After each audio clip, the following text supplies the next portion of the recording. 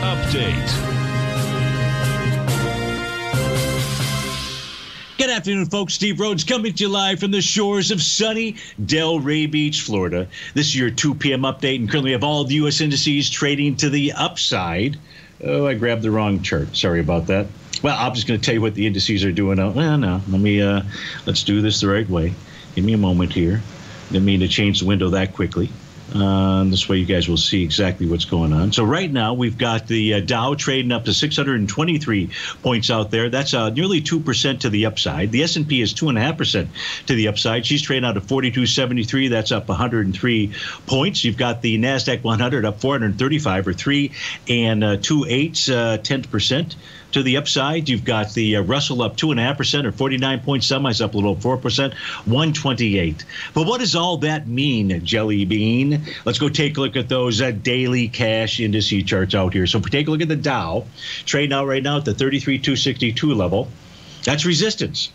It's traded right up into its red oscillator and change line. That's a level that price would need to close above to say that, okay, more rally to come. Not a guarantee, but more rally to come. If you reject red oscillator and change line, it tells you you're still in the condition of a falling price oscillator but below zero.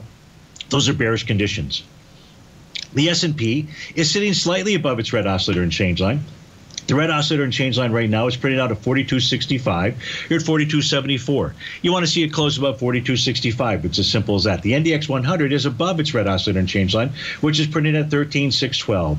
If price can close above that 13.612 area, price likely runs up to its prior swing point level in the 14.342 level. The Russell is above its red oscillator and change line. That print is printing at 1981. You close above that, says you get back into that 2060 ish range out there what is it? It's at the uh, 2065 range. The semis, they are traded above their red oscillator and change line at 32.49. That suggests that price could be moving up to the 34.99 level. The transports likely targeting 15.421. That would be with a close about 14.954. If I take a look at the XAU, you've got gold pulling back. It's off 56 bucks right now. The XAU, which looks like this will confirm a TD9 count top, but price is above its green oscillator and change line. The price level to watch at the XAU for those of you that are long GDX, Nugget, or any of the miners is going to be 152.11. You want to see that continue to hold that support. Folks, stay tuned. Your favorite polar bear, David White's up next. Have a wonderful Wednesday. I'll see you back here on. Take care.